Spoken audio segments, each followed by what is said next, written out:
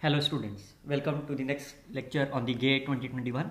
Today we will discuss about question number 10 which is of the 1 marks related to the limit.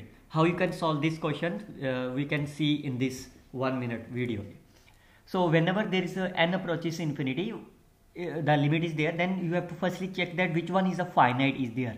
So 2 raised power infinity is not a finite, this is not finite, this is not finite, this value is a finite because it lies between minus 1 to plus 1 this is infinite this is infinite this value is a finite. Why? Because whenever n approaches infinity this is a cos 0 so what is the value of the cos 0 is almost be a 1 are there. So I can take this as of the a 2 raised to power n is common. So this is 1 plus n sine square of n by 2 raised to power of 1 by 2n of this. So now how you can solve this? You always take the logarithm of this.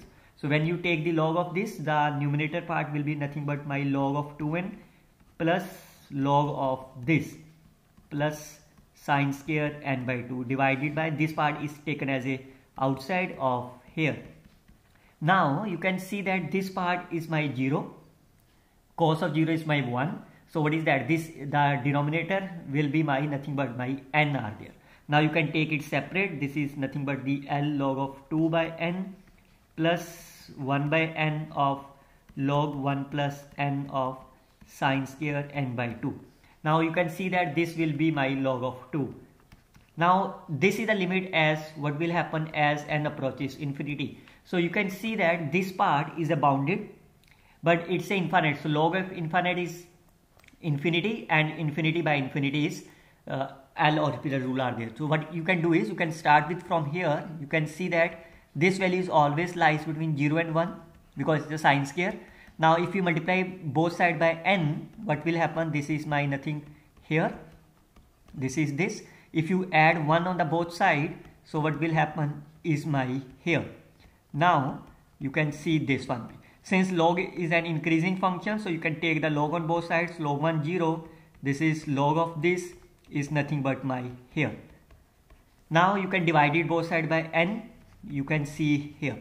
Now you can take the limit n approaches infinity on both sides. This will be 0 is a 0. This is our target. This is infinity by infinity. So I can take the L'Hopital rule upon 1. So what is that? Whenever n approaches infinity, this will goes to the 0. So this part also 0, this part also 0. So by the sandwich theorem, all of you know that the sandwich theorem will apply. So this part will also goes to the 0. Hence, this limit will be my 0. So what is that? A is nothing, log of A is nothing but my 2. So what is the A is my 2. What is the A is? This is the answer.